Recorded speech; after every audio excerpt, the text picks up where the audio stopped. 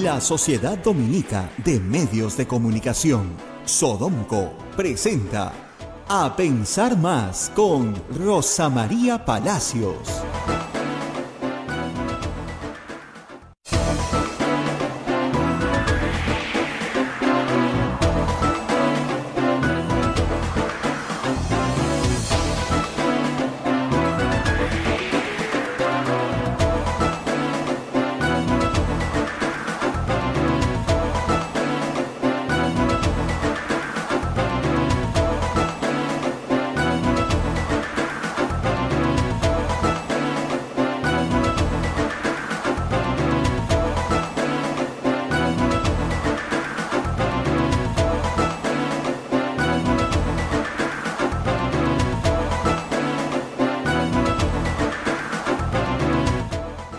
Señores, muy buenos días. Bienvenidos a Pensar Más con Rosa María Palacios a través de las emisoras de la Sociedad Dominica de Medios de Comunicación Sodonco, integrada por Radio Santa Rosa en Lima, Radio Santo Domingo en Chimbote, Radio San Martín en Arequipa, Radio Cepago en Ucayali, Radio Quillabamba en La Convención y Radio Madre Dios en Puerto Maldonado, emisoras dominicas del Perú. Se une otra red de radios amigas Radio Huánuco en Huánuco, Radio Ayacucho en Ayacucho, Radio Pública en Puno, Radio Moro en Ancash, Radio Cumbre en Huancayo, Radio Satipo en Milenio, Radio Estación Solar en Abancay, Radio Oriente en Yurimagua, Radio Los Ángeles en Cajamarca, Radio eh, San Valentín en Lampa, Radio Activa en Cerro de Pasco, Radio Continental en Guanta, Onda Digital TV y también AM Tagua nos ponen podcast en todo el Perú y el mundo. Y además en la plataforma móvil del Facebook de Santa Rosa, el Facebook de, Quillabamba y el canal de YouTube de Santa Rosa y nuestra página web www.radiosantarosa.com.pe. Muy bien, son las 8 de la mañana con 3 minutos, hora de saludar a Rosa María Palacios que ya nos está esperando. Rosa María, ¿cómo estás? Buenos días. Muy buenos días, Abel. Muy buenos días a todos nuestros oyentes en todo el país. Supongo que todos muy contentos por el triunfo de la selección peruana. Y bueno, ese es el tema que ha copado todas las noticias, pero nosotros tenemos que empezar, como siempre, haciendo las menciones de nuestros auspiciadores. Somos la primera universidad peruana en alcanzar el puesto décimo tercero en América Latina según el ranking US Latam 2022, gracias a una formación de calidad internacional que transforma nuestro país. Pontificia Universidad Católica del Perú. Hotel La Cuesta de Caima, de la Asociación Santa Catalina de Sena, de las Madres del Monasterio de Santa Catalina es la mejor opción para tu estadía en Arequipa. Lo recaudado por el hotel sostiene las instituciones de apoyo social de las madres que benefician a niños, niñas, mujeres y adultos mayores en estado de vulnerabilidad. Informes en el Facebook e Instagram del Hotel Acuesta de Caima, Arequipa. Policlínico Ángeles de la Salud. Ofrece servicios de calidad de salud a precios al alcance de todos servicios de rayos X, mamografías, laboratorio de análisis clínico, ecografías, endoscopías, colonoscopías, tópico, farmacia y servicio de ambulancia. Contamos con un staff de médicos de alta calidad y modernas instalaciones con todas las normas de bioseguridad. Las madres dominicas del convento de Santa Catalina contribuyen con sus oraciones por la salud física y espiritual de nuestros pacientes. Calle Andro Peralta, A10, Urbanización San José, Humacoyo, frente a la iglesia del Sagrado Corazón de Jesús de Arequipa. Colegio Sagrado Corazón Sofiano. 74 años al servicio de la educación en Arequipa, formando integralmente la niñez y juventud desde la pedagogía de luz y verdad. El proceso de admisión para el año 2022 está abierto. Colegio Sagrado Corazón Sofiano, formamos en luz y verdad. El colegio privado bilingüe Reina de los Ángeles y toda la Molina, Lima, tiene como meta la educación en las virtudes cristianas para construir una sociedad más humana, más fraterna y más feliz. El Colegio Bilingüe La Asunción, perteneciente a la Congregación de las Hermanas Dominicas de la Inmaculada Concepción, ubicado en Trujillo, La Libertad, brinda una educación a jóvenes y niños basada en las virtudes y en la espiritualidad dominica. Colegio Santa Anita brinda educación católica desde el diseño curricular Luz y Verdad, es una gran opción a los papás que buscan para sus hijos una educación de calidad con valores. Cuenta con docentes en el manejo de los entornos virtuales de aprendizaje para el desarrollo de habilidades de los alumnos que los hagan competitivos en la sociedad. Y finalmente, el Colegio Santo Tomás de Aquino de los Padres Dominicos ofrece excelencia académica Información Cristiana para la Vida. Abre el proceso de admisión para el año 2022 para primaria y secundaria. Informen los teléfonos 987-11-8509 y 426-3390. Colegio Santo Tomás de Aquino, 129 años formando en valores cristianos. Muy bien, estas son las menciones de nuestro programa. Por supuesto, los eh, instamos a participar en nuestra rifa y, por supuesto, también participar a través de PayPal con su donación para el sostenimiento de este programa y de toda la radio, de Radio Santa Rosa. Y nosotros vamos a lo, a lo nuestro. Eh, el señor Bruno Pacheco sigue sentado despachando en Palacio y el Ejecutivo no ha tenido una sola reacción. El día de ayer les contamos eh, cómo un portal de noticias llamado Lima Gris había emitido un informe en el cual se daba cuenta de una serie de conversaciones vía WhatsApp entre el entonces encargado de la SUNAT y el secretario general del presidente de la República, el señor Bruno Pacheco. Y en esas conversaciones, el señor Bruno Pacheco pide favores muy explícitos para empresas y amigos. A uno lo quiere hacer martillero público, a la empresa Deltron quiere que no la revisen, al amigo que exporta oro quiere que se le aprueben unos formularios para autorización de insumos químicos. Y le hace saber que su nombramiento definitivo depende pues de dar y recibir. El señor Veras es finalmente nombrado jefe de la SUNAT. Y él mismo contesta a el portal Lima Gris que esos requerimientos existieron, pero que él no los eh, cumplió, no los atendió. Pero la solicitud existe. El señor Bruno Pacheco dice que niega rotundamente haber participado. El señor de la SUNAT dice que sí le pidió. Esto es mucho más grave que el dicho de un general que dice que Bruno Pacheco le pidió un ascenso. Acá hay un escrito. Hay un documento escrito, una conversación escrita y un funcionario del Estado que dice que efectivamente eso ocurrió. Y a esta hora de la mañana, distraídos por el fútbol y por otros asuntos, el señor Bruno Pacheco sigue sentado en Palacio de Gobierno. Y no pasa nada. Porque es de la confianza del presidente. Indispensable para el presidente. Hasta esta hora, los mensajes de Bruno Pacheco solo complicaban a Bruno Pacheco, porque no citaba al presidente, ni a otros funcionarios. Pero la protección que está teniendo hasta esta hora comienza a resultar sospechosa. No es pues un gobierno ideológicamente uh, comprometido con la lucha contra la corrupción y las reivindicaciones populares, ¿no? Estamos viendo lo mismo de siempre, solamente que más barata. O sea, corrupción pura y dura de poca monta. El favorcito para hacer a fulano martillero, que le aprueben los documentos al otro, que le, que le ahorren la multa y los intereses de la deuda al otro. Y lo más grave, reitero, es que el Poder Ejecutivo, ni la señora Primera Ministra, ni el Presidente de la República, han dicho una palabra en las últimas 24 horas sobre esta situación. Reitero, estaban muy entretenidos todos con el fútbol, ¿eh? saludando a la selección peruana, que está muy bien, que gane, pero hay asuntos más graves. Y hay otros asuntos en el Ejecutivo que también son graves y uno de ellos es el examen docente, del cual vamos a hablar un poco en este programa. Eh, el portal Epicentro, Daniel Llovera, nuestro colega, alertó ya desde el sábado de la noche que el examen se había filtrado.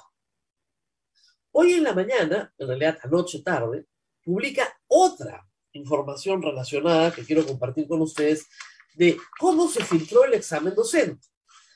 El examen docente es un examen al cual se someten 250 mil maestros para obtener su nombramiento. Es decir, si no pasas el examen, no te nombran. Esto es parte de una reforma Desde hace ocho años se toman estos exámenes y los que pasan son nombrados. ¿Ok? Tenemos profesores que fueron nombrados en el sistema anterior, esos siguen nombrados. Y profesores que tienen que acceder a la carrera magisterial siendo nombrados. Y el resto son contratados. Y sus contratos se renuevan todos los años. Todavía el porcentaje de contratados es muy superior al de nombrados. Hay un trabajo por hacer. Lamentablemente, en estos últimos ocho años de reforma, el porcentaje de los que pasa el examen es bajísimo. A tal punto que hoy hay más contratados que hace ocho años en términos porcentuales. Es muy bajo el porcentaje de los que pasan. Allí hay una discusión. Y esa es la razón por la cual Pedro Castillo arma una corriente política y hace un paro en 2017. Y finalmente constituye un sindicato. El FENATE tiene como objetivo eliminar la meritocracia, no al examen, no a que nos tomen el examen. ¿Por qué? Porque no lo pasan. Los miembros de la bancada de Perú Libre, que vienen del magisterio, todos son jalados, sistemáticamente jalados o nunca han dado el examen, como es el caso de Pedro Castillo y su esposa. No afiliados al SUTEP, nunca han dado el examen. No les interesa, porque no quieren darlo. Ahora, acá hay dos temas. Uno es, ¿por qué los maestros no pasan el examen? Si yo someto a mis alumnos a un examen y solo pasa el 5%, cualquier maestro sabe que ahí hay un problema que hay que analizar. O la prueba no está bien diseñada, o no se han trabajado bien los contenidos en clase, algo ha pasado. La culpa no es necesariamente del que jala el examen. Cuando la jalada es masiva, ¿no es cierto? Ahí hay algo que estudiar, algo que aprender, algo que discutir. Tal vez, en ese sentido, los maestros de FENARTE tienen un punto, pero el punto no puede ser no damos examen. ¿Se dan cuenta? La razón por la que, las razones por las que los, eh, los profesores no pasan el examen, según varias versiones, son multifactoriales. No hay una sola razón, hay varias. La primera es que hay un contingente de maestros muy grande en el Perú que proviene de institutos pedagógicos de muy pobre nivel, que ya fueron cerrados, que ya fueron cerrados, que fueron cerrados la mayoría de ellos durante el segundo gobierno de Alan García pero que fueron formados en esos institutos pedagógicos de muy pobre nivel, con muy baja exigencia, y que con esa formación mínima son contratados en, la escuela hoy. Y cuando se enfrentan a un examen, simplemente no lo pasan. Ese es el problema más grave. Su formación de base es muy precaria. El segundo problema es que el examen de opción múltiple que es muy fácil de corregir. No es necesariamente un examen en el cual todos los estudiantes puedan desempeñarse bien y requieren de un cierto entrenamiento. Tan es así que hay cientos, y no miles de profesores que gastan algo de dinero en prepararse en academias de preparación para dar un examen de opción múltiple, porque no lo saben dar. A algunos les va bien, y a otros les va muy mal. Entonces, tal vez el diseño del examen tenga un problema. Y por supuesto, hay los profesores que no tienen ni el tiempo ni el dinero para gastar en su propia preparación y que no lo van a tener nunca, ni el tiempo ni el dinero, porque tienen otros trabajos, además de ser maestros. Y esos otros trabajos consumen su tiempo y su dinero. Es una situación muy compleja, pero es evidente que imponer meritocracia en la escuela está siendo mucho más difícil de lo que se creyó hace 10 o 15 años. Muy bien, toda esta introducción sirva para decir lo siguiente. El examen se filtró y según varias fuentes, anoche conversé con algunas y este reportaje de Epicentro, el último de la noche, revela lo mismo,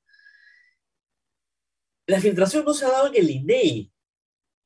El Ministerio de Educación ha echado la culpa al Instituto Nacional de Estadística e Informática, con la que tiene un convenio, de haber sido ellos los que han filtrado el examen, porque ellos estaban a cargo de la impresión, distribución, ¿no es cierto?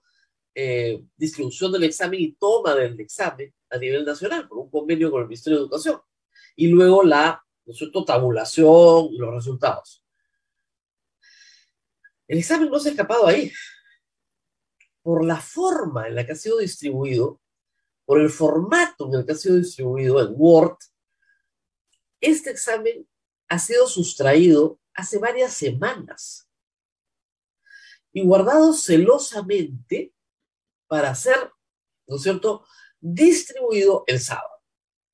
¿Qué es lo que dice Daniel Llovera? Eh, vamos a explicarlo acá. Vamos a leer lo que dice Daniel. En las primeras horas del sábado 13 de noviembre, día del examen magisterial de acceso a la carrera pública docente, un capacitador de profesores de una academia que se llama Auge envió por WhatsApp desde Lambayeque la prueba resuelta a 2.500 maestros de todo el país que se preparaban para resolverla ese mismo día. El capacitador, que está identificado, Juan Núñez Concha, docente del grupo Auge, una institución de capacitación de profesores que opera en Chiclayo, asegura que su objetivo era alentar, era alertar de la filtración a sus alumnos. Los docentes, que eran sus alumnos, ¿no? Y no filtrarla, sino alertar. El problema es que su alerta llegó acompañada del mismo examen. El viernes de la mañana, Juan Núñez Concha había, viernes, ¿ah? había recibido, ese es el relato del señor Núñez Concha, en su teléfono el examen resuelto, con las respuestas correctas resaltadas en color amarillo, como las hemos visto también publicadas en el portal Sudac. Era el mismo que mostró Epicentro TV el sábado pasado. Quien me pasa los exámenes son personas comunes y corrientes. Son maestros que se han capacitado en auge. Eso es Vox Populi, dice el señor Núñez Concha, que se entrevista con Llovera. Dice que no volvió a saber más del asunto hasta las primeras horas del sábado 13. Su teléfono volvió a sonar y él vio, él, volvió a ver su WhatsApp. Era la misma prueba. Él en ese mismo momento procede a reenviarle a sus 2.500 alumnos del grupo Auge, que tiene organizados en 10 grupos de WhatsApp de 250 profesores cada uno. Dos minutos después, a las 2 de la madrugada, añadió al examen, su, al examen, al supuesto examen, un mensaje de alerta dice lo siguiente el profesor. Este archivo, maestros, ha circulado todo el día, absolutamente todo el día. Los quiero mucho y los aprecio. Así que es mi responsabilidad decirles que estoy convencido que este no es el examen. Pero sí el examen, pues. O sea, el profesor Núñez Concha dice, esto me ha llegado temprano, luego ha circulado todo el día, todo el mundo lo sabe, todo el mundo lo sabe, él lo recibe y en la madrugada lo manda y dice, mire, esto, este examen no es el examen, no puede ser el examen. Se lo manda a 2.500 maestros. Y si era el examen, era el examen. Y acá están los WhatsApps que se presentan. Un docente en el Cusco, acá viene lo bueno, alumno también virtual del grupo Auge, que era parte del quinto grupo de WhatsApp llamado Auge 5, se entera de la filtración. Y el lunes, a primera hora, el maestro cusqueño Willy Alberto Quijano Asia se dirige a la Fiscalía Anticorrupción de la ciudad y denuncia el hecho, entregando el pantallazo del chat, la prueba docente resuelta, el nombre y el teléfono del capacitador, y este, el fiscal adjunto anticorrupción, allá en Cusco, Jonathan Guamán Pilco, levanta el acta respectiva. ¿Ok? Y hay una denuncia. Y acá está todo el acta. Eh, Epicentro ha entrevistado al director del grupo, del grupo Auge en Chiclayo, Ronald Avellaneda Montenegro, y también habla con el señor Juan Núñez Concha, y ambos rechazan haber filtrado el examen. Aunque en la práctica, involuntariamente o no, dice Fernando Llovera, efectivamente Núñez contribuyó a su filtración, a su difusión por lo menos.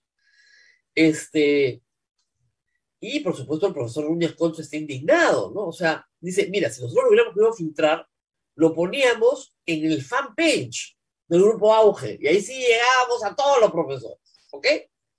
Pero en fin, esa es la historia. En su defensa, y acá viene un dato interesante, y en respuesta a quienes lo señalan como parte de una presunta red con conexiones en el Ministerio de Educación, Núñez acota que por el contrario, él cree que los responsables están en el Minedu y no en el INEI. ¿Ok?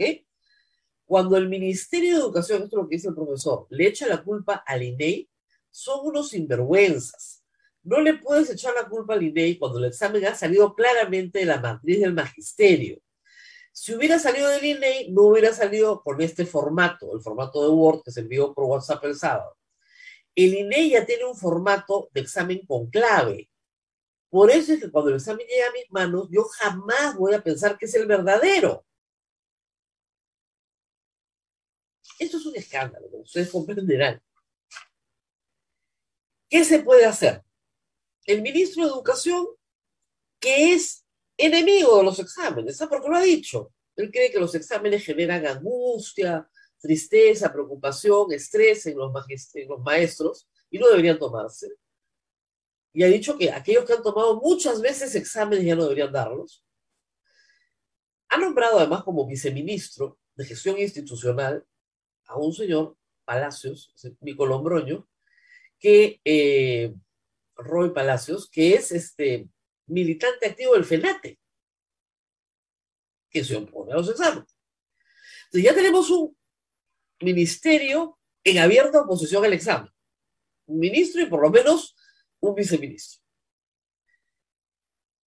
Tenemos la sospecha de varios, porque el capacitador, este, el señor Núñez, no es el único, que por la forma en la que se ha conocido este examen, sería la que duda que haya salido el INEI, porque no es el formato del INEI.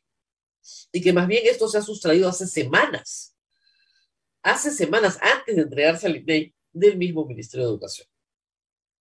Y el ministro de Educación ha salido a decir, miren, no se puede anular la prueba. No se puede anular la prueba, no se va a anular en aquellos lugares donde podamos comprobar que efectivamente han habido irregularidades, se hará una auditoría y ahí se verá. ¿Qué va a pasar? Bueno, presumo que miles de, profesores van a ser nombrados habiéndose copiado el examen. Lamentablemente va a ser así. Y esto no es más que un sabotaje a todo el trabajo meritocrático. La otra opción es anularlo todo y volver a empezar. Y ahí también hay un problema bien complejo. Me decían que volver a tomar una prueba de esta categoría demanda seis meses de trabajo. No es lo único que se hace en el proceso de ascenso, pero es, una etapa muy importante. Entonces, retroceder al viernes 12 de la semana pasada implica tener seis meses por delante. Y este proceso, en realidad, es un proceso que debió haberse tomado en 2020, que por la pandemia no se pudo realizar, que se está haciendo en noviembre del 2021 y que si lo haces dentro de seis meses te vas probablemente a marzo y abril por el año escolar ya empezado. Lo que no puede ocurrir, lo que no puede ocurrir es que el FENATE destruya la meritocracia. Mediante un acto de sabotaje. Porque eso es un acto de sabotaje. Y el ministro no puede decir que no tiene responsabilidad política. Avanza País está recolectando firmas para su censura porque acá lo que hay es una grave responsabilidad política. Nadie puede saber exactamente en qué punto se ha filtrado el examen. Pero echarle la culpa a la INEI, desde el primer minuto es un error garrafal. Y como se ha explicado ya en otros programas y varias veces, no siempre han habido filtraciones. En realidad, desde que se ha aprobado esta modalidad de examen en los últimos ocho años, nunca han habido filtraciones los últimos ocho años, no estamos hablando del gobierno de Toledo, no, los últimos ocho años nunca han habido filtraciones. Porque el esquema, ¿no es cierto?, de cuidado del examen es a prueba de balas. Tienes que ser muy, muy, muy, muy sinvergüenza. Primero porque no hay una persona que hace el examen. Es un pool de maestros que normalmente los encierran y que hacen un pool de preguntas.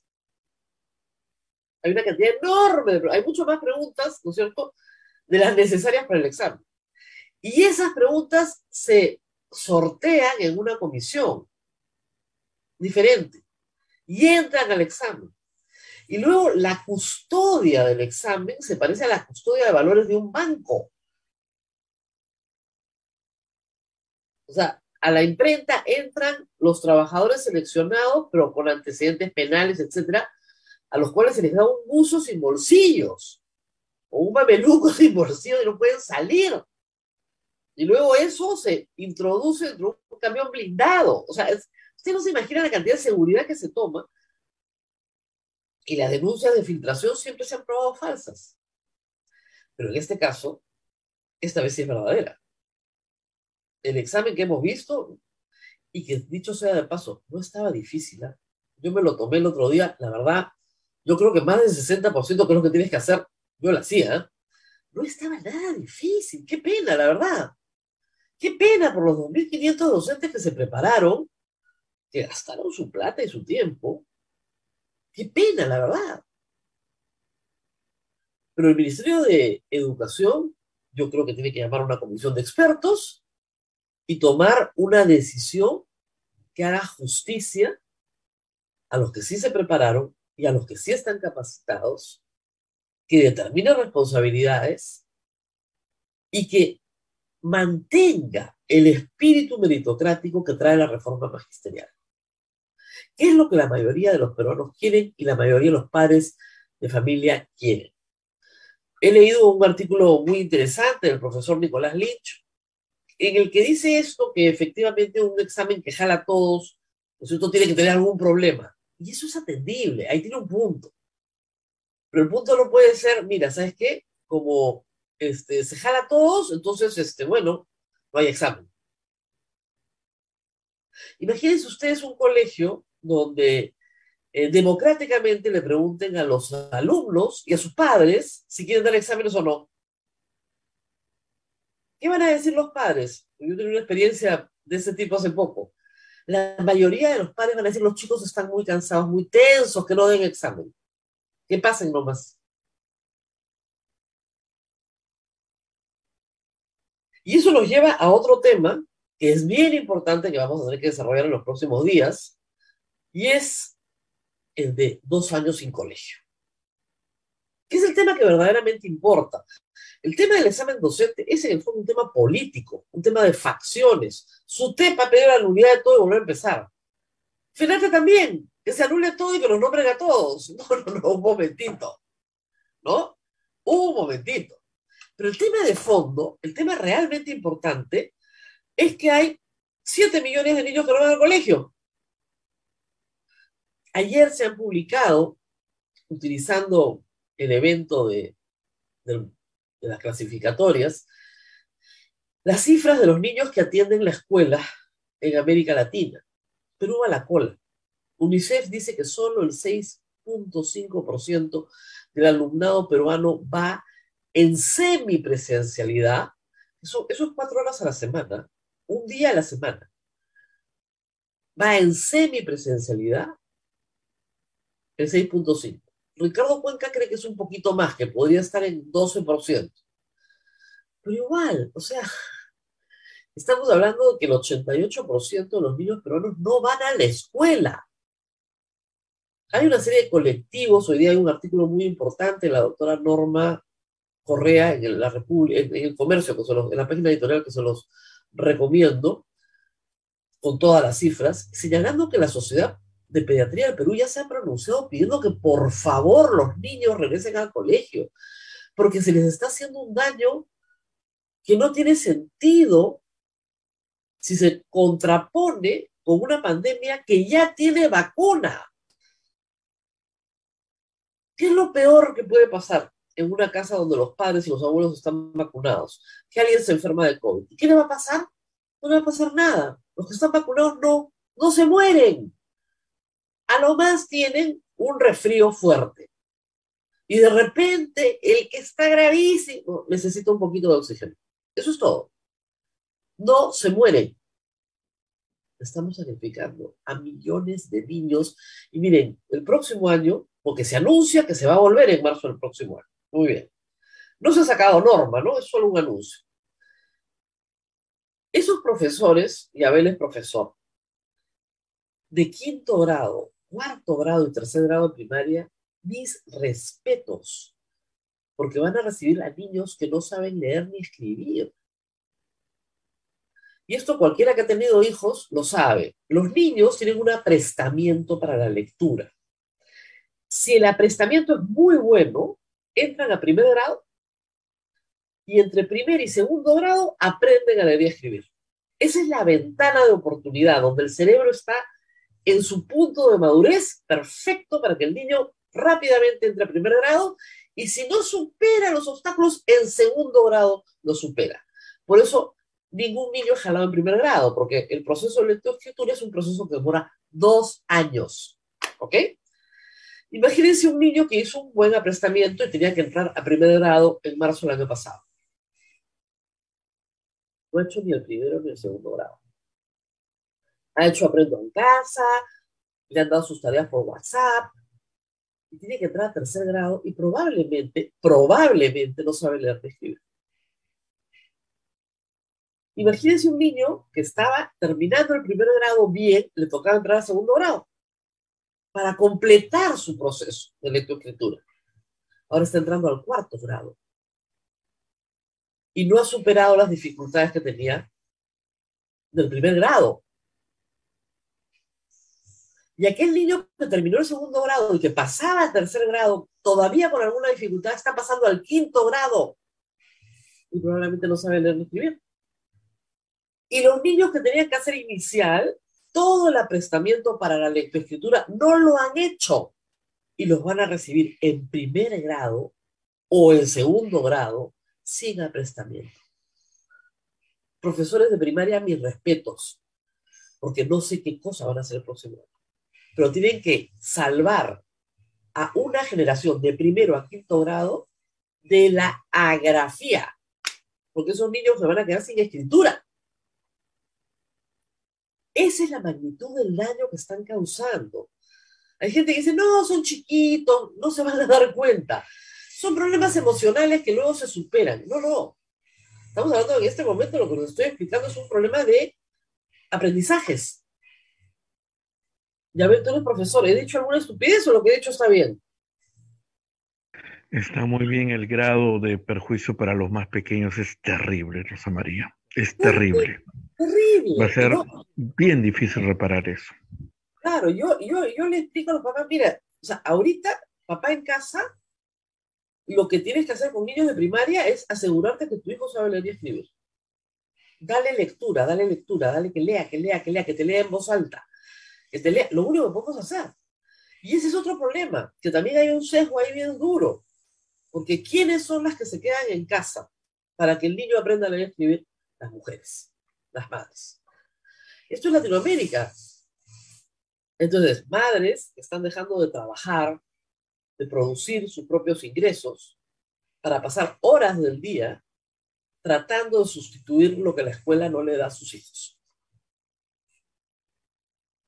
Esto en un ambiente, por supuesto, hacinado, en un ambiente donde no hay socialización, en un ambiente donde hay mucha tensión dentro de casa, mucho estrés dentro de casa.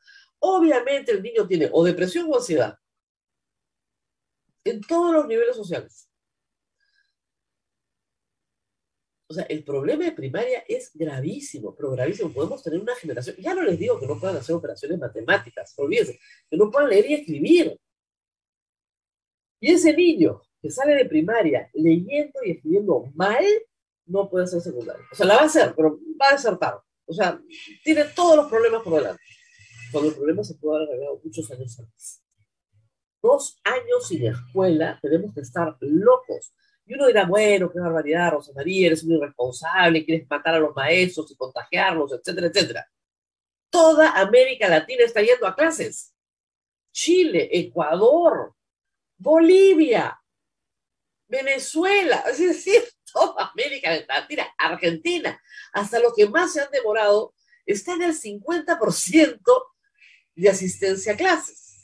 Y en el mismo Perú, Ayacucho, la región Ayacucho, que tiene un gobernador regional que ha decidido tomar otro camino, tiene el 60% de sus alumnos en clases presenciales. 60%. Entonces, ¿qué estamos haciendo? Bueno, va a haber una marcha este fin de semana ya convocada. En fin, hay una serie de acciones de varios colectivos que están protestando activamente por la vuelta a clases. Esto es un asunto muy serio, pero muy, muy serio, y no se está tomando. Ya, ya estuvo bueno, ¿no? O sea, hasta el año pasado no podía entender. Hasta julio veníamos de la segunda ola, que en abril fue altísima, fue mucho más alta que la primera ola. Hasta julio había las dudas, se decía en septiembre viene la tercera ola, en septiembre viene la tercera ola. No vino la tercera ola, pues en septiembre. Estamos en noviembre, no hay ninguna tercera ola, hay una pausa en la pandemia, los niños pueden volver a la colegio. ¿Va a haber contagios? Sí, va a haber contagios, por supuesto. Van a ser letales en poquísimos casos. No podemos sacrificar a 7, 8 millones de niños por un posible caso de COVID. es de terror. En España regresaron el año pasado. Ahora, ustedes dirán, no, pues esas son escuelas que tienen agua, desagüe, baños. Eh, Sudaca publicó un informe de la Contraloría en varias escuelas del Perú, en el interior, ¿no? Me refiero a Ayacucho, me refiero a Ucayali, donde la basura la ponían al lado del caño. Bueno, pues mueves la basura, pues, pero no dejas que el niño, o sea, ¿cómo les explico? El sacrificio de que un niño no vaya a la escuela es muchísimo mayor a que la escuela no sepa dónde poner correctamente la basura. O que el niño se sacó la mascarilla. Se la va a sacar porque es niño, pues. Y la profesora tendrá que decirle, vuelve a poner tu mascarilla. Miren, en Estados Unidos la discusión no es que si los niños van a la escuela, no van todos. La discusión es si usan o no usan mascarillas. Porque los estados republicanos no quieren que los niños usen mascarillas en el colegio. Esa es la discusión. No si van o no. Tendrías que estar loco para decir que los niños no vayan al colegio. Loco. Tenemos un presidente maestro. Debería salir al país y decirle, mañana se reabren todas las escuelas. Listo. Con tres o cuatro medidas, todos con mascarilla, o van un día sí, un día no. Todos los maestros ya están vacunados, todos ya están vacunados. Ahora sí, todos están vacunados la vacunación de los mayores de, para ser maestro uno más o menos debe tener unos 21 años mínimo, ¿no? 22 años. Ya, eso ya pasó hace más de tres semanas, ya todos deben tener las dos dosis. Ya está, pues vamos todos al colegio.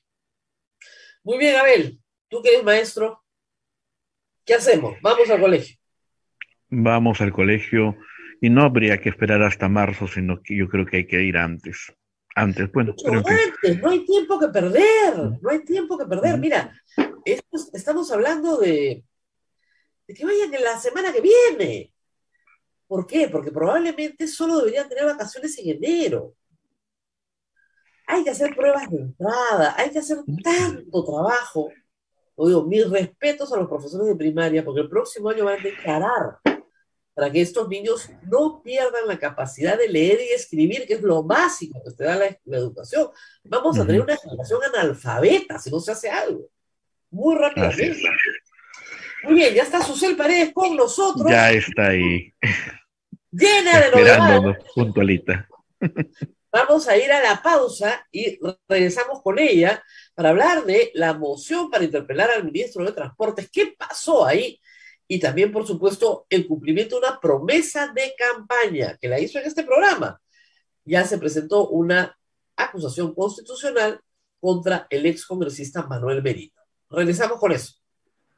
Y no se olvide que el PayPal está en nuestra página web, puede usted entrar allí y hacer su donativo y nuestra rifa que será el próximo 10 de diciembre, la rifa de Radio Santa Rosa, la rifa anual que nos ayuda bastante. Pausa y volvemos. Sodomco, Sociedad Dominica de Medios de Comunicación.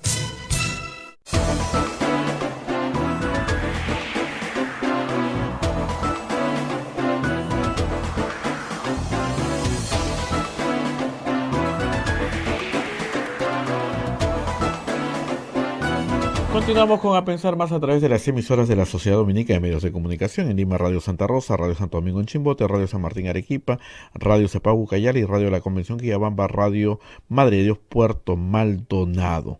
También Huánuco, Radio Huánuco, Ayacucho, Radio La Voz de Ayacucho, Puno, Radio Pública, Anca, Moro, Huancayo, Radio Cumbre, Satipo, Radio Milenio, Yurimago, Radio Oriente, Cajamarca, Radio Los Ángeles, Lampa, Radio San Valentín, Cerro Pajo, Radio Activa, Guanta, Radio Continental, Onda Digital TV nos pone en sus pantallas y AM Tagua nos pone en, en, podcast para que nos escuchen en cualquier parte del mundo a la hora que ustedes desee.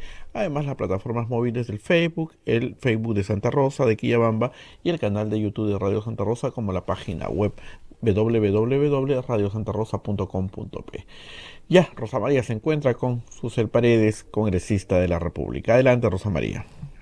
Así es, muchas gracias a Susel Paredes por estar con nosotros esta mañana y quería empezar primero con las promesas de campaña. Susel Paredes, cuando estuvo durante la campaña con nosotros, tenía una convicción que yo comparto sobre los actos que hace un año se desarrollaron en el Perú, por los cuales fue derrocado un presidente y Manuel Merino asumió por cinco días la presidencia de la República.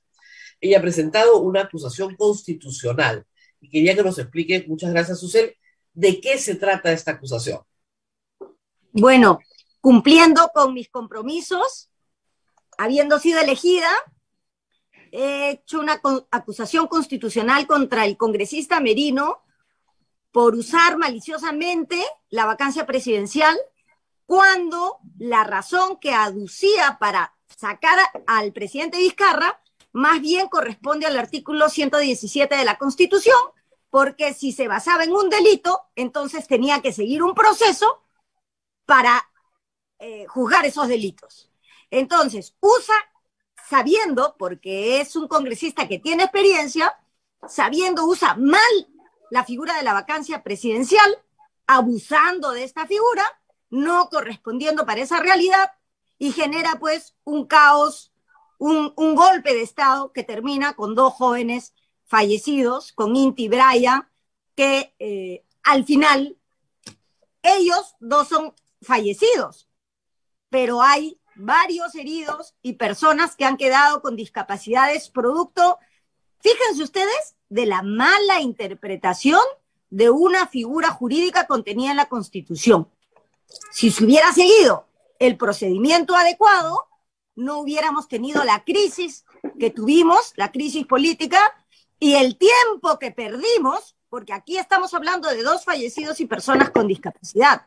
Pero yo también estoy pensando en los miles de muertos que se produjeron porque se atrasó el proceso de, los contratos con las vacunas. Que acuérdense, en ese momento no habían vacunas en el mundo, había que acelerar los procesos de contratación, produce esta crisis y tenemos tres presidentes en menos de 15 días y cuántos ministros de salud que tuvieron que hacer transferencia de cargo con la consecuente muerte de miles de peruanos por no haber tenido disponibilidades, disponibilidad de las vacunas. Y por eso lo acuso constitucionalmente y ojalá se, eh, se logre la sanción más drástica y se la inhabilite por el mayor tiempo posible que permita la ley. Ahora, es evidente, por lo menos a mí me queda claro políticamente desde la censura a Cateriano, que había una conspiración en el Congreso para derrocar a Vizcarra en venganza por la disolución del Congreso en 2019. Una conspiración que llevó a un grupo de gente que había estado fuera y dentro del Congreso, que luego aparece en el gabinete de Antero Flores Arauz, eh, para... Y en la juramentación, en la juramentación de Merino hay dos personajes en una foto en el balcón que son Vitocho y este Diez Cancelo. Claro. Raúl. Esos dos en el balcón son la imagen de quienes estuvieron detrás de la conspiración. Con Acuña, ¿no? Porque Acuña también estuvo. También, también. También. Pero la acusación es solo contra Manuel Merino. ¿Por qué? Porque es la persona responsable de estos hechos en su calidad de presidente del Congreso, que además agenda, en mi opinión, con mala fe para hacerse del poder, agenda y, acelera todos los procesos para que se vote. No olvidemos que la gente mata por ser presidenta del Congreso o estar en la junta directiva, porque ahí se toman las decisiones para agendar los temas. Entonces tú puedes tener, y eso lo, lo, lo estoy verificando en mi práctica parlamentaria, que tiene 100 puntos de agenda. Claro. Pero ¿quién decide que este jueves, no mañana, se vean solo siete puntos? Quienes están en la mesa directiva y la junta de portavoces. Entonces, ese poder que él tuvo se usó conscientemente para hacerse de la presidencia de la República, usando inconstitucionalmente una figura que no correspondía, porque él decía, ha cometido presuntos, no, presuntamente ha cometido los delitos tales y tales. Entonces tenía que irse a otra figura, pero no, él lo fuerza todo para hacerse de la presidencia de la República. Además, como con el antecedente del caso Swing, ¿no? Que era demasiado banal como para que pasara internacionalmente, ¿no? Eh, acusar al presidente de contratar a un cantante. Hazme el favor. Claro, ¿cuál Puede es el ser reprobable de todas las formas. Claro, que canta pésimo, ¿no? Pero sí. A mí me no, pero eso no es causal. Lo procesas, pues, pero no es causal para, para desestabilizar el sistema democrático en el contexto de una pandemia mundial en su primera fase, que ha sido la más letal. De verdad no han pensado en la gente. No, no, no, evidentemente que no han pensado en la gente. Si hubieran pensado en la gente, no lo hubieran hecho, porque cuando vienen las movilizaciones nacionales, no, no estaban preparados, no tenían la menor idea de qué cosa estaba pasando. ¿ya? Pero Le echan la culpa a la policía. Claro. Pero cuando la policía ha obedecido. Claro, tienen responsabilidades. Pero ¿de dónde vino la orden? Del jefe de las Fuerzas Armadas y Policiales. y otra cosa, en, la, en, la, en, la, en, el acta del, del, Consejo de Ministros, la ministra de Justicia no quiere firmar. Claro. Ahora, en el, en, el, eh, en el caso de Merino, ¿qué delitos? O sea, hay dos cuestiones. Infracción a la Constitución, que ya lo explicaste, es decir, utilización incorrecta de un artículo de la Constitución, y el otro es delitos. ¿Has incluido delitos también en la acusación constitucional? No, precisamente por eso me he demorado, porque he estado esperando cómo avanzaban las causas de, que están llevando los abogados de Inti y de Brian. Y, es, y, no quería interferir ni distraer. Entonces he esperado hasta que avancen esas causas penales y han avanzado. Entonces, este, eh, yo creo que eh, hemos puesto la acusación en un tiempo oportuno para que no se monte sobre la acusación penal y que más bien vayan en paralelo, cada uno con sus competencias. Para, que, para que se tenga esto en cuenta, ya la fiscal de la Nación ha presentado acusación penal contra Merino, contra Antero Flores Araos y contra el ministro Rodríguez, ministro del Interior, por los hechos del 14 de noviembre y el 10 de noviembre, por hechos penales, asesinato, etc. Esa es una acción. La tuya es la infracción de la Constitución por el mal uso del artículo 114, 115, etc. Es otra. Ahora, yo no sé cómo van a prosperar alguna de las dos, porque de acuerdo a lo que tú mismo acabas de explicar, todo depende pues de que el presidente de la comisión de el presidente de la subcomisión de acusaciones constitucionales lo quiera poner en agenda o no.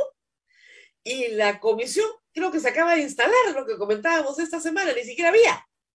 Ni siquiera había. Entonces, este, vamos a insistir en el proceso, informaremos a la ciudadanía en qué está, qué acciones está, está realizando la Comisión de Acciones Constitucionales y si nosotros interpretamos por los hechos que están encubriendo esta acción o están obstaculizando, impidiendo nuestro derecho de, de hacer este proceso, también lo denunciaremos públicamente, porque mira, el objetivo de esto no es irme contra ninguna persona en especial, yo a Merino ni lo he visto en mi vida.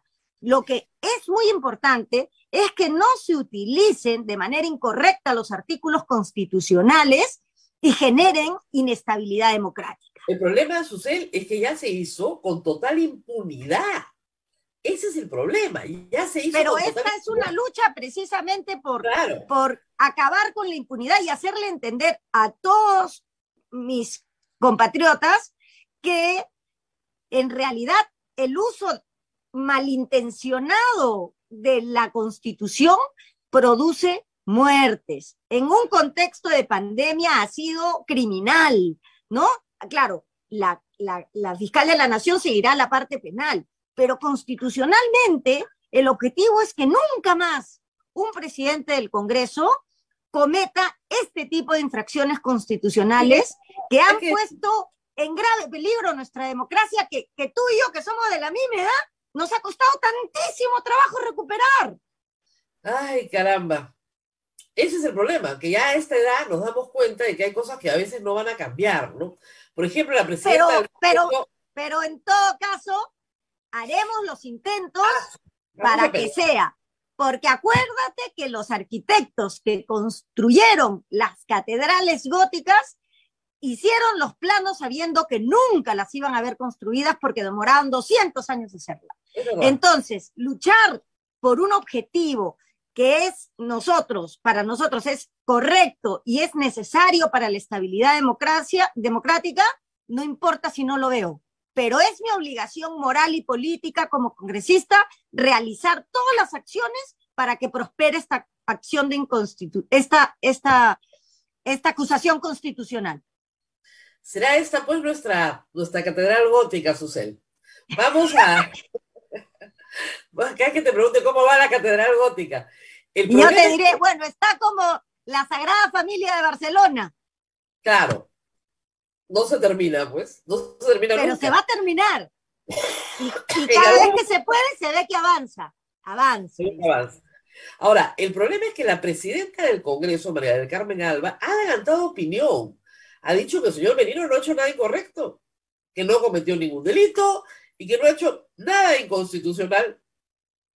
Entonces ya la presidenta del Congreso, que es de su mismo partido, que obviamente la tiene que amparar, el partido Acción Popular estuvo en la conspiración, no el señor Mesías, está claro, que el presidente del partido. No o sea, una parte del partido, claro, pero digamos que... Una parte sustancial del partido estuvo en la conspiración, como estuvo en la conspiración el señor Acuña. De eso no queda duda. Hubo una conspiración para cometer un acto de sedición. El problema es que no se quiere calificar al acto de sedición y no hay ninguna. Porque no hubo levantamiento en, armas. Por eso no califica. Claro, pero mira, mala corrió, ¿ah? Hay dos muertos. Claro, claro, pero este, el problema como en el derecho penal hay una figura que se llama la tipicidad, o sea, tiene que calzar perfectamente. Y si uno de los elementos no calza perfectamente, no va a prosperar. Y en ese sentido, sí, no ha habido alzamiento en armas de, de, Merino y, los, y quienes lo acompañaron, ni de Acuña. No ha habido, pues. Entonces, no puedo probarlo. No, trataron de utilizar la fuerza y de hecho la usaron durante seis días. Así es. Hasta que las Fuerzas Armadas les dijeron no. Así es. Porque Merino sí requirió a los comandantes generales en Palacio de Gobierno y no se presentaron. Porque dijeron, no vamos a disparar. No le contestaron el teléfono. Exactamente, porque no le iban a disparar al pueblo, que era lo que le estaba pidiendo. Porque además también tenemos una nueva generación de oficiales militares y policiales que no se prestan a unas acciones que después los van a terminar votándolos de la institución y metiéndolos presos. Así es. Y con toda razón, porque estaban cometiendo un acto ilícito. Felizmente le dijeron, que no. Pero esa situación está ahí flotando, ¿no? Y el señor Merino se pasea por todos los espacios, dice que los caviares fueron los que asusaron a, la, a los jóvenes ignorantes, ¿no? De la realidad nacional. Eso es una falta de respeto muy grave a la juventud. La juventud peruana y estos chicos, además universitarios, eran muy conscientes que estaba cometiéndose un acto eh, de, violación constitucional, en, castellano simple, un golpe de Estado, utilizando erróneamente y, con dolo una figura que no correspondía en la Constitución. Entonces, los jóvenes se levantaron y no solo los jóvenes, yo, yo, no, yo tengo, tenía 57 años el año pasado y he estado ahí. Es más, renuncié a la municipalidad de Magdalena porque el, el, alcalde de Acción Popular y yo no consideré, consideré adecuado mantenerme eh, en, en, ese puesto. y renuncié porque quería mi libertad para expresarme y no confundir las cosas como funcionaria pública. Entonces inmediatamente renunció, pero yo estaba en la marcha desde el primer día, porque no se puede, mira, si nosotros abrimos estas puertas falsas y estas interpretaciones equivocadas de la Constitución, vamos a cambiar de presidente cada tres meses, cada seis meses, nadie va a invertir, todo el mundo va a perder su trabajo y quien quiera conseguir trabajo no lo va a poder hacer porque sin estabilidad política no hay estabilidad económica. Los países que tienen más desarrollo económico son los países que tienen más estabilidad política y debemos de hacer esta relación siempre.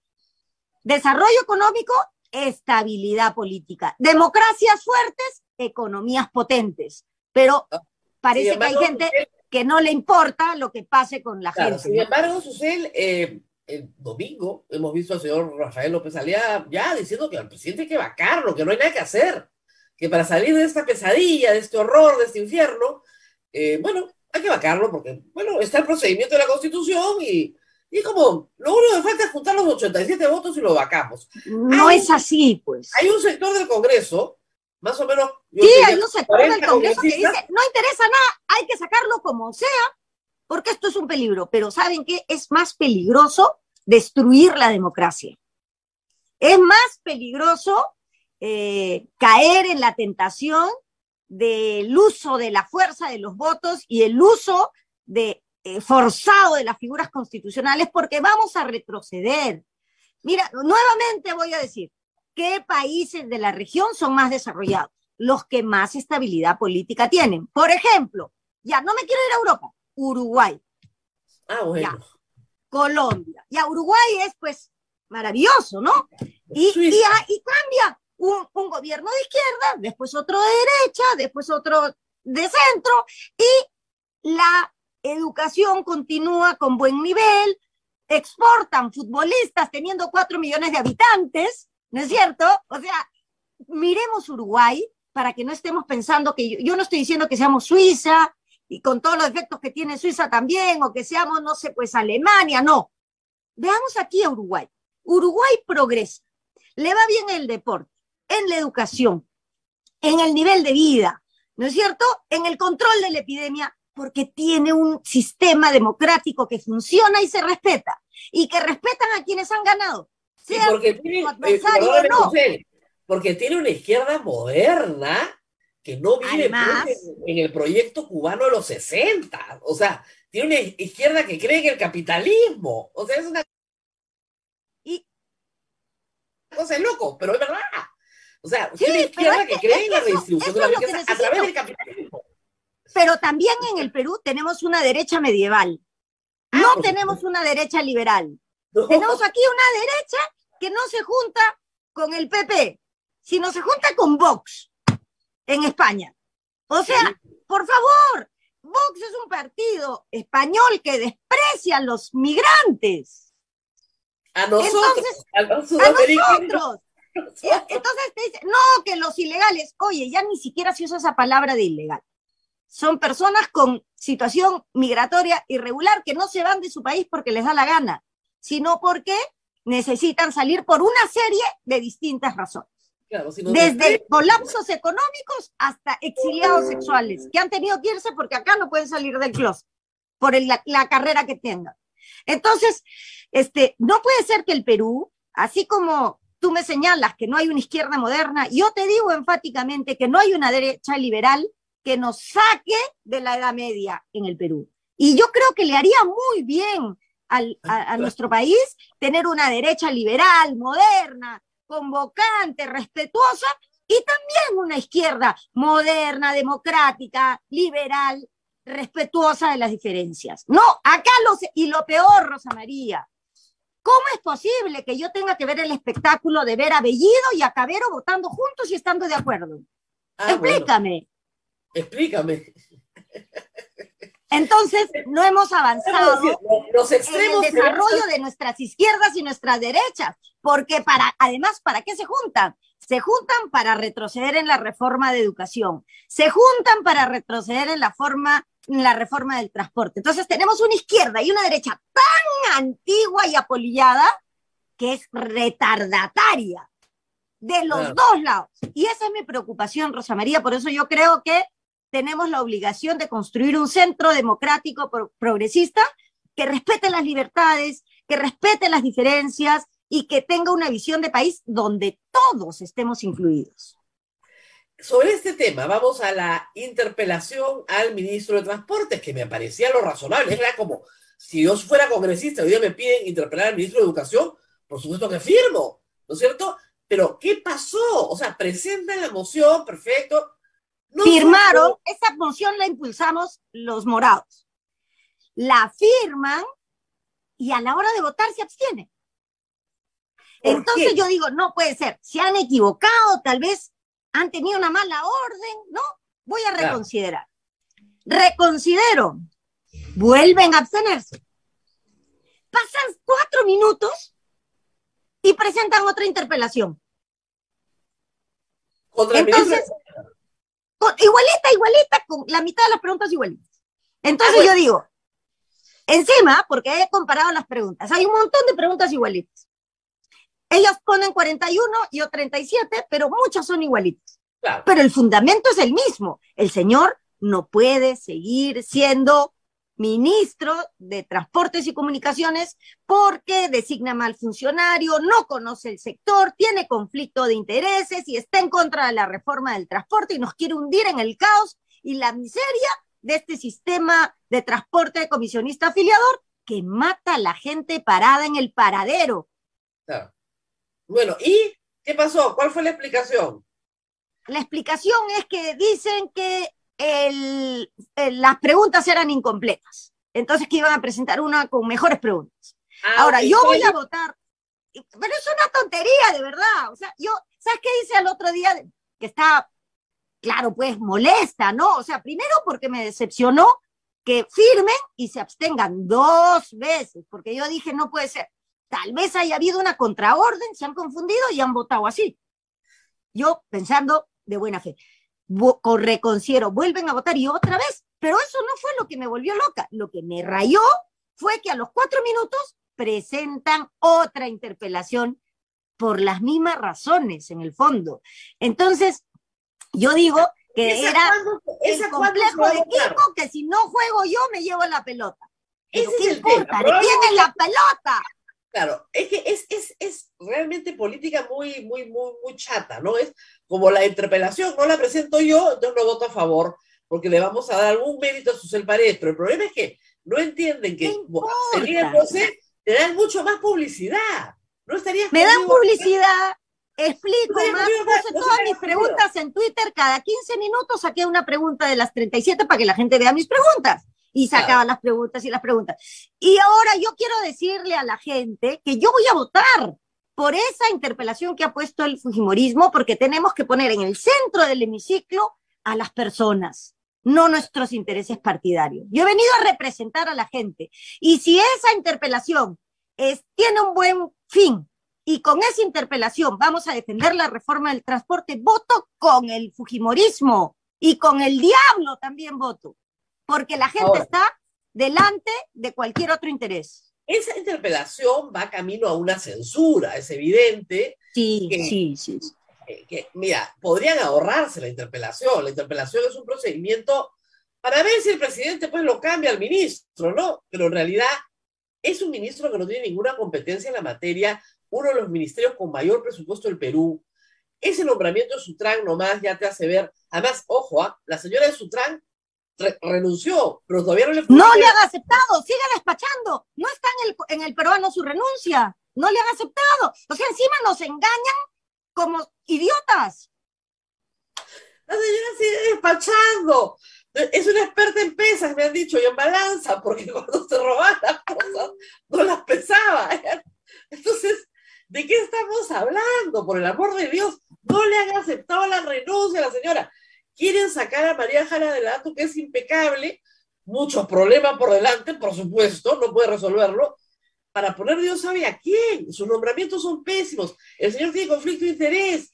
Es decir, su único... colectivero tiene una multa por, por manejar sin, un colectivo sin autorización. Claro, ha hecho O sea, ya, ya lo máximo, lo máximo de que del conflicto de interés. Él mismo maneja el colectivo. Hacía movilidad escolar. Esa es toda su, su experiencia en materia de transportes para regular puertos, aeropuertos, carreteras, telecomunicaciones. Y toda la plata, toda la plata que significa hacer carreteras y puentes, que son Claro. los que hacen en transportes. Entonces, Claro. yo no voy a decir el nombre, pero algunos congresistas me decían, ¿sabes qué? No puedo, no puedo firmar, porque ya el hombre me ha prometido que me va a hacer mi puente. ¡Ah, su madre! Claro. ¿Y qué pasa? Esa es la política de verdad, pues, que vemos en el Congreso y por eso la gente no nos quiere, pues, porque al final la gente se da cuenta y se entera de las cosas.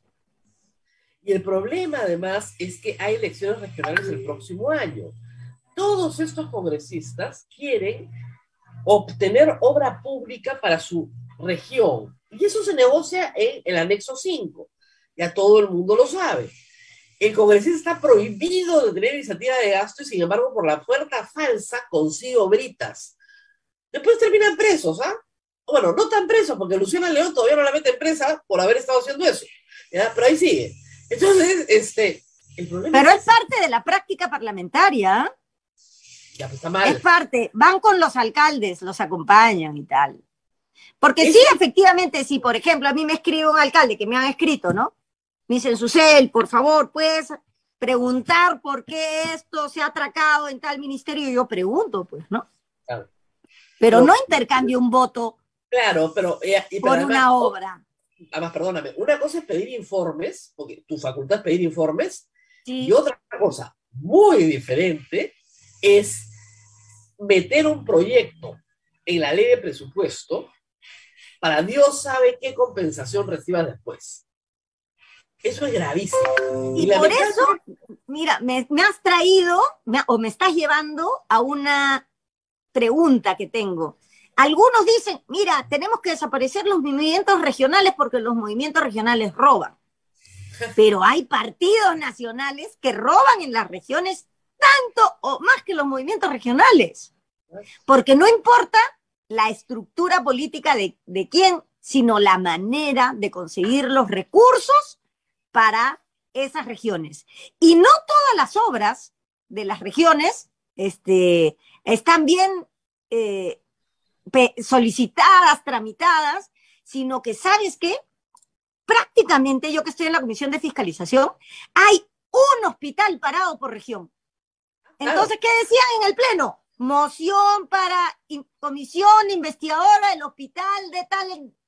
Moción, pucha, que vas a tener una, una comisión por, por, por, por hospital del país. No, y no Y solamente eso, efectivamente o sea, están parados. La comisión investigadora va y a construir el hospital, no. ¿Va a curar a la gente? No. ¿Por qué no nos enfocamos en la gente y hacemos que el hospital termine? Termine, lo saques del arbitraje, lo terminen y atiende a la Mira, gente. Por eso yo he votado a favor de este proyecto de control concurrente, porque si, si esperamos al control posterior, es decir, al control cuando se acaba la obra, ¿qué pasa? Miles de obras paradas en el país, que vayan Todo. juntos y, y que se ejecuten otros países con lo de Odebrecht. Mira la carretera central, lo que es una porquería.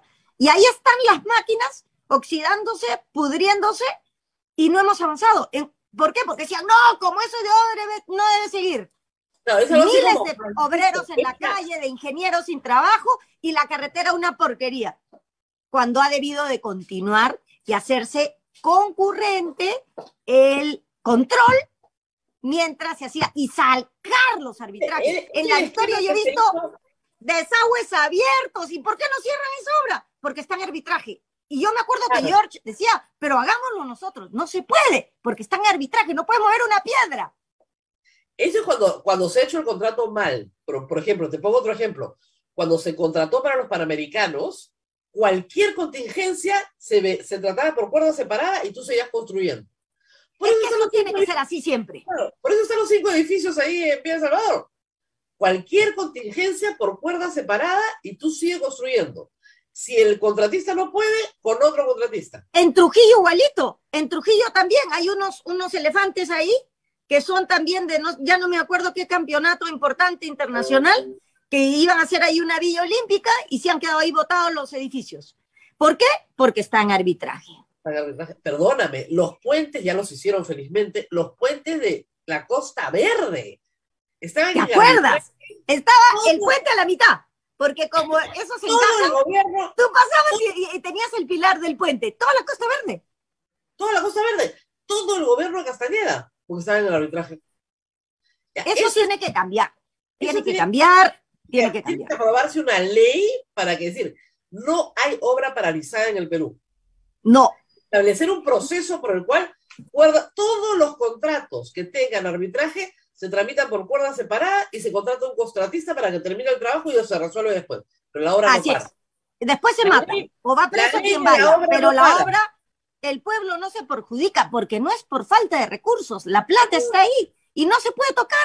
Y, abierto el desagüe, mira, la calle, en la, Girón La Mar, en La Victoria, tenían que arreglar la pista y, y el desagüe. Abrieron el desagüe y se salían pues. todas las ratas. Y no se podía arreglar la pista porque estaba en arbitraje. Eso ya no puede continuar así. Bueno, eso necesita una ley, Susel. Sí, la trabajaremos porque de verdad, por eso estoy en fiscalización. Y, y el problema, ¿sabes cuál es también? Que mis colegas, como las comisiones te permiten tener un poco más de personal, tal vez una oficinita, cualquier cosa, entonces todo el mundo quiere tener su comisión.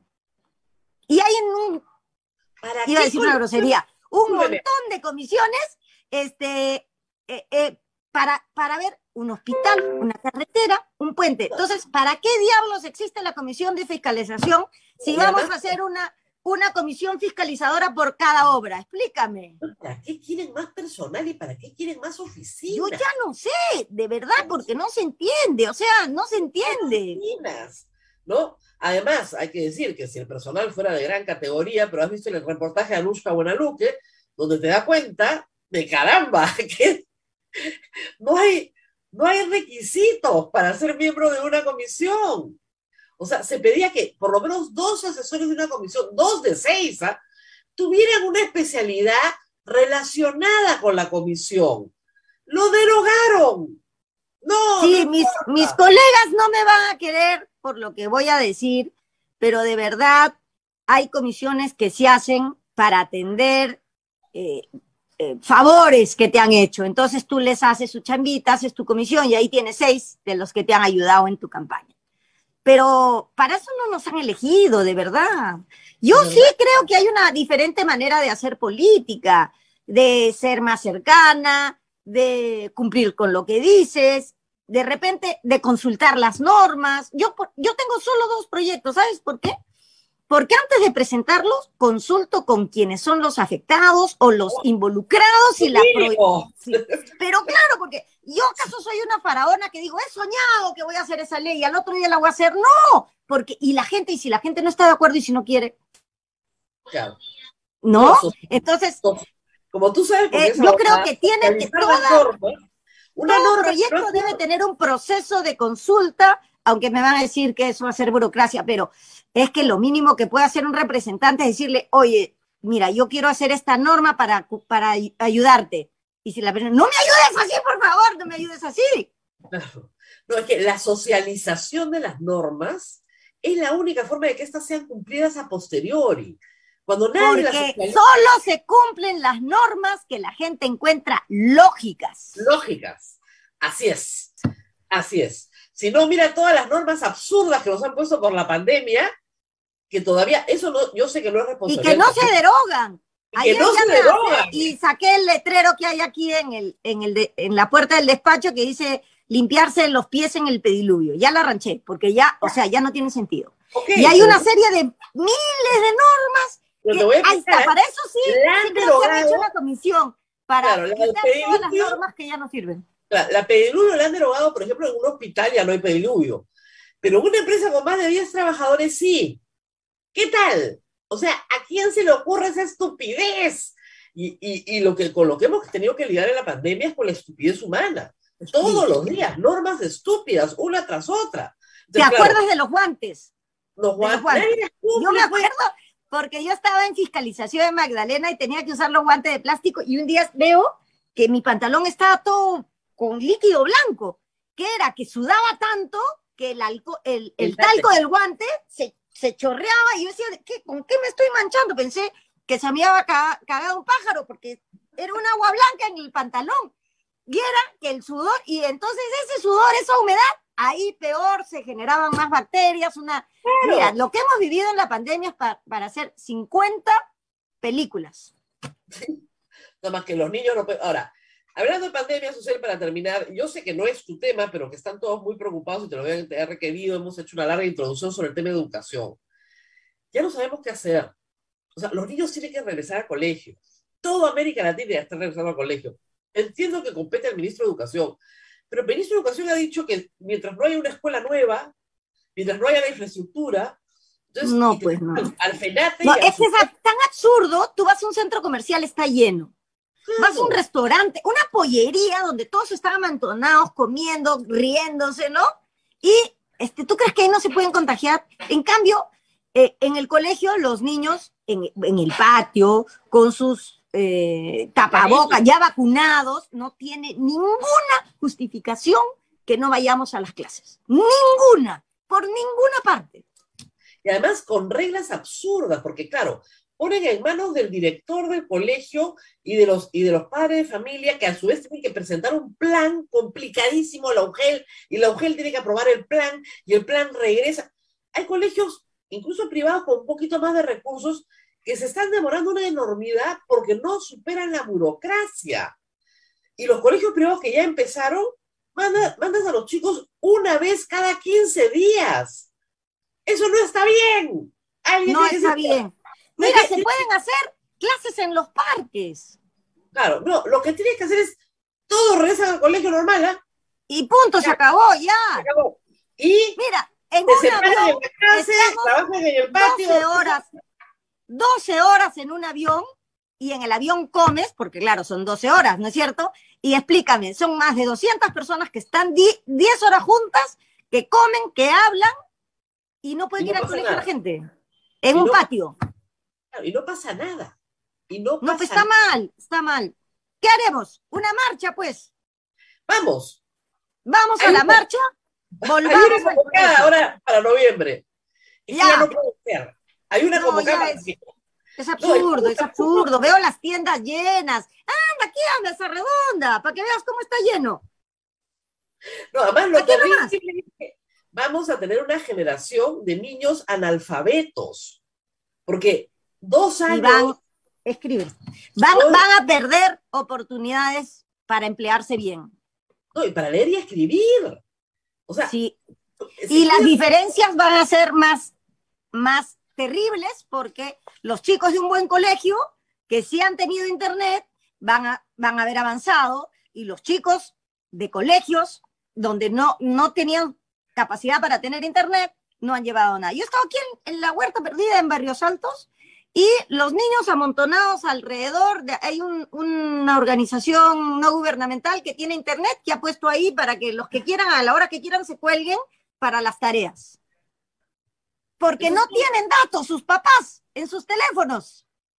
No hay, pues, no hay. Entonces, ese chico de aquí de Barrios Altos va a tener una brecha de diferencia con el otro que, tiene todas las posibilidades y el Perú va a tener más desigualdad, más conflictos sociales y, y más problemas porque no hemos regresado a clases en el tiempo adecuado.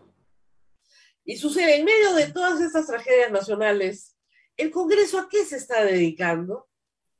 Bueno, yo no voy a hablar en general del Congreso, sino de los morados que estamos trabajando este, en nuestros proyectos, en nuestra fiscalización. Pues, son tres. Pero, pero somos tres que conseguimos cosas. Si no, no me estarías entrevistando. Por lo menos a mí me conocen, saben cuál es mi nombre y qué cosa estoy haciendo. Pero hay otros que la gente ni sabe quién es. Sí, o que nos enteramos y, y, nos conocen por nuestras obras. Claro, por, lo menos, o sea, no nos enteramos de su nombre por alguna cosa que es más bien anecdótica o folclórica, ¿no es cierto? Que, que por o festiva, o festiva. Objetiva.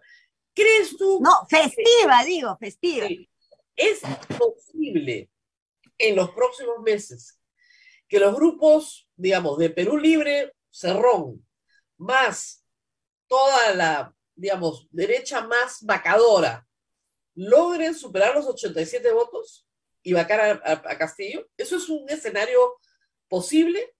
Es posible, pero también eh, desde, nuestro, desde nuestro punto de vista, desde nuestra opinión, es muy perjudicial para el país. Entonces, nosotras no solamente vamos a poner tres votos en contra, sino que además, entonces, ¿para qué diablos servimos los congresistas si no hacemos control político? Si no, en, entonces, cada vez que un presidente hace mal las cosas, se le vaca y lo cambiamos y lo cambiamos. Entonces, precisamente una república democrática se basa en el equilibrio de poderes, en los contrapesos y en el control político. Entonces, si vamos a vacarlo, quiere decir que hemos renunciado a nuestra facultad de control político. No puede ser. Haremos todo lo posible por persuadir a nuestros colegas a que sigamos haciendo control político, saquemos a los que tienen que salir, pero que no atrasemos el país con más eh, interrupciones democráticas. ¿Qué ministros deberían salir si pudiera censurar tú? Claro. Bueno, transporte, vivienda, este, educación, educación ¿no? ahí urgente. Ok, esos tres. Y falta ver quién va a ser el ministro de Defensa, porque todavía no nos han dicho. Yo espero que, que, piensen en, personas dialogantes y que generen puentes y no en achorados, ¿no?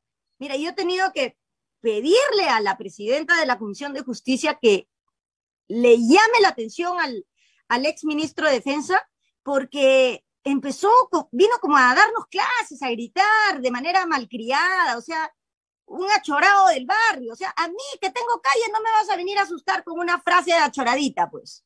Entonces, más bien se le hizo llamar la atención. Imagínate. Contigo, ¿eh? Pero viene acá y dice, lo que pasa es que ustedes están vendiendo humo y quieren hacerse famosos. Oye, señora presidenta, yo soy famosa antes de venir. Más bien al señor no lo conocía nadie. Y así, sin, mira, ya, de verdad, hacen perder tiempo, Rosa María, hacen perder tiempo. Eso es verdad. Muy bien, Susana, no sé si hay alguna pregunta del público, Abel. Sí, tengo dos preguntas. En el caso del señor Bustamante, eh, perdón, este, el señor Bruno Pacheco, no se puede hacer nada. Y la segunda, Susel, es una pregunta, este, no sé si te has enterado que la congresista Roseli Amuruz Dulanto, le gusta, es muy festiva la señora y por el motivo del Día de la Música va a premiar a una agrupación musical que me imagino que tiene todos los, los honores, pero eh, para, eso tenemos al Congreso para premiar a un grupo de salsa, creo que es. Sí, son tentación, son buenazas. Pero, me imagino, eso no lo dudamos. Este, por ejemplo, yo he presentado una moción que se ha aprobado que he pedido que se consulte, ¿no?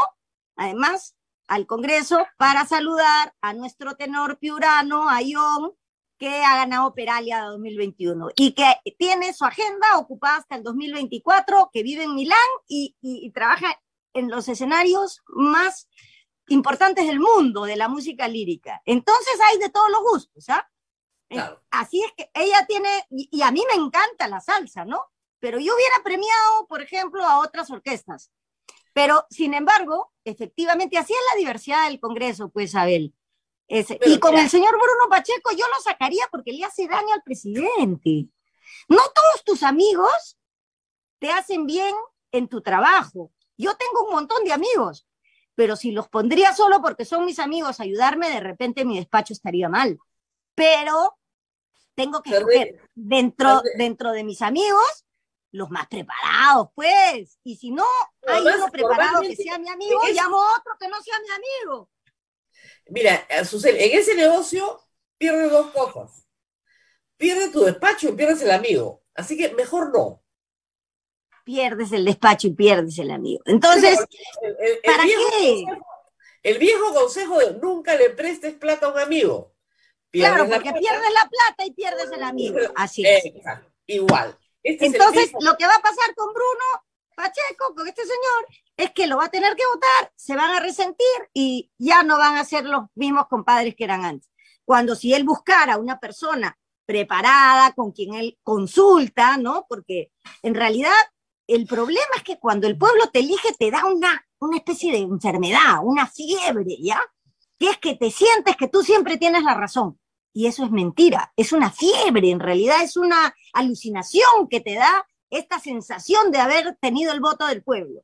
Entonces tienes que curarte de esa enfermedad para recuperar la objetividad y este, escuchar los consejos de quien te contradice. A mí me cuadran acá, en mi despacho. Me dicen, ¿te interesa mi opinión? ¿O no, jefa? Muy mal lo que estás haciendo. Me gritan. Pero estamos, yo necesito eso, porque si no, este, me puedo equivocar más. O sea, son, personas que, me hacen ver mis errores. Entonces yo no me puedo rodear de gente que... no tiene personalidad y que no sea capaz de decirme, a mí me parece que eso no es así. Además, Y por eso lo respeto, porque me lo dicen.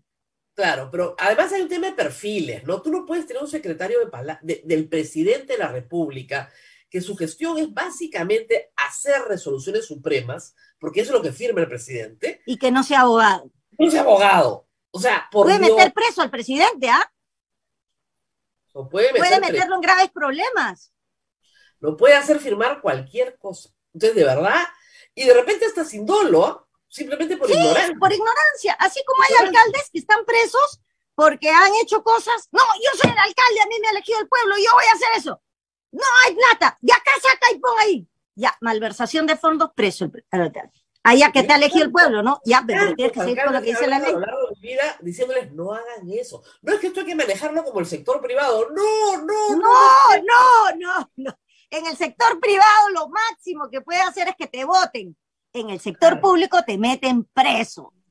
Así es, eso es lo que hay que repetir.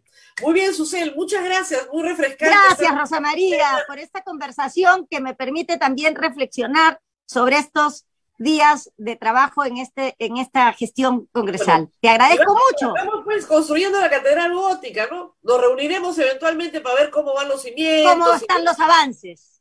¿Cómo están los avances? Así Muy bien. Y soñando Gracias, con Gracias, Abel. Chao, chao. Nos, vemos, Susel. Gracias a ti. Muy bien, Abel, nos vamos despidiendo. Yo tengo que hacer otro programa. María, así es. Nos vamos hasta mañana. Pero recordándole a todo el mundo que nosotros no vivimos del Estado y que vivimos del PayPal. No, vivimos del PayPal. Me han pedido un comentario y lo voy a decir porque creo que hay que decirlo. Mi colega eh, Walker, Christian Walker, ayer, seguramente el exitoso estuvo muy incorrecto, no es la forma de tratarse, de acuerdo, todo mal, pero el congresista Alex Flores le dijo algo que ya a todos los periodistas nos tiene hartos que es, usted le responde a sus patrones, seguramente tú piensas, o sea, la idea de que estamos comprados por la voluntad de otro. Y eso es un insulto para un periodista. Y es todos los días. No solamente a la izquierda. Rafael López Aldea se pasó toda la campaña diciendo los mermeleros a todos los periodistas. Insulto tras insulto tras insulto. Y es una máquina de insultar porque no los vamos a denunciar por difamación al final del día. Señores, yo he tenido al señor Merino diciendo que yo me había vacunado clandestinamente. Son unas máquinas de insultar. Y luego se quejan. sí, dicen, perdió los papeles. Perdió los papeles, de acuerdo, y no debió perderlos. Pero tampoco, tampoco se victimiza el Congreso cuando insultan permanentemente con temas de plata, además. Este programa vive de obras cristianas, católicas, no vive de otra cosa y de la caridad del público que nos escucha. Y todos los días yo tengo que borrar tweets de mermelera, mermelera, mermelera, todos los días. Ya, saben que hay menos, porque ya se dieron cuenta que vivimos de la caridad pública.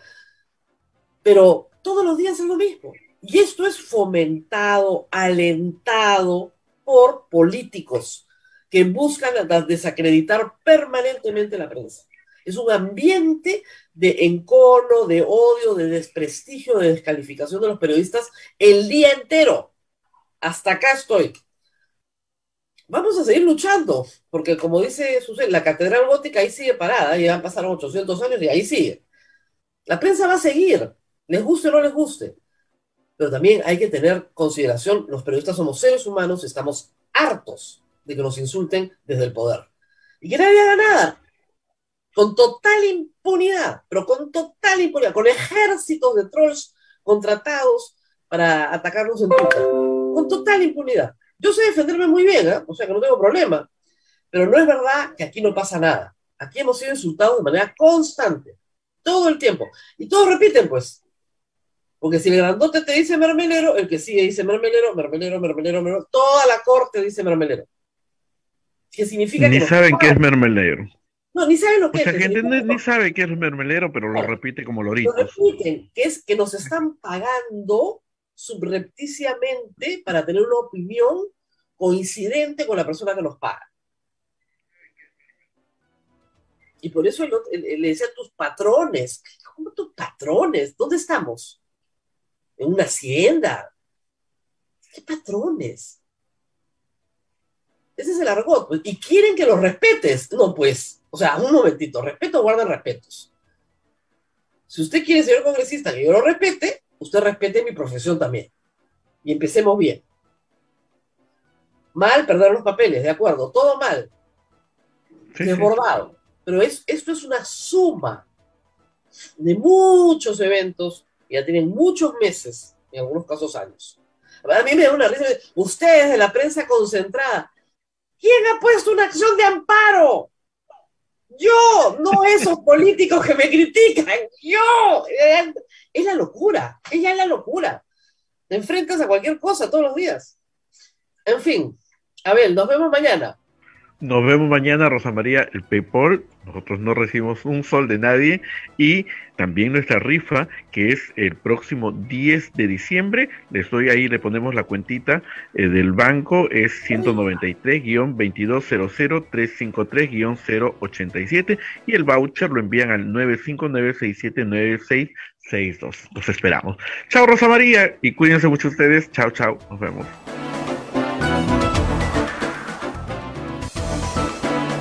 Hasta aquí, a pensar más con Rosa María Palacios. Este programa fue producido por la Sociedad Dominica de Medios de Comunicación, Sodomco.